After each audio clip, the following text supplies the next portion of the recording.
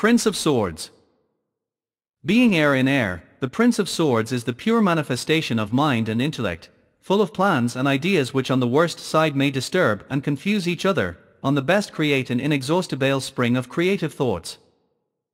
The Prince of Swords is intelligent, idealistic, full of creativity and fluidity, a real Mercurian spirit who often will argue just for the fondness of arguing and not so much for the arguments themselves.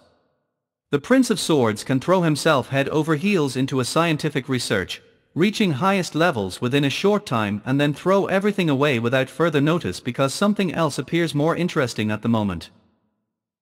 On the dark side, the Prince of Swords lacks both the qualities of water and earth, he can easily become unstable, unreliable and extremely moody, using his amount of intelligence to trick himself through life, becoming a master of disguise and cheat.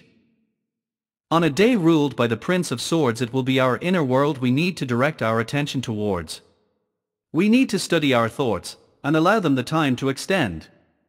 Too often a thought crosses our mind and we are unable to give that thought the room to grow and develop until it achieves its maximum potential, and because this happens very often we fail to live up to ourselves too.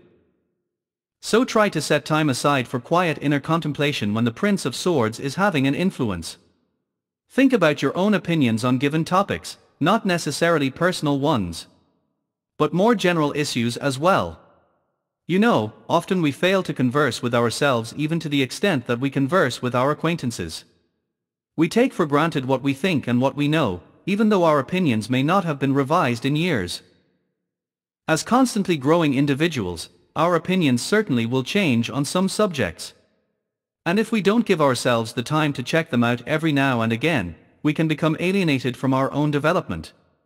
This can lead to all kinds of problems, See the 8, 9 and 10 of swords for examples of this.